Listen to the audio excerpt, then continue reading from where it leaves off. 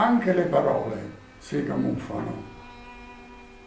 Pur le parole si camuffano, come le persone, si azzuffano. Bomba è quella più pericolosa. Se si camuffa non è una rosa. Se la chiedi al bar, vai con la crema. Se sei al fronte, è parola estrema, non è guerra, parola camuffata. È gente vera, morta, ammazzata. La sola parola, la sola che a noi piace, è soltanto la parola pace.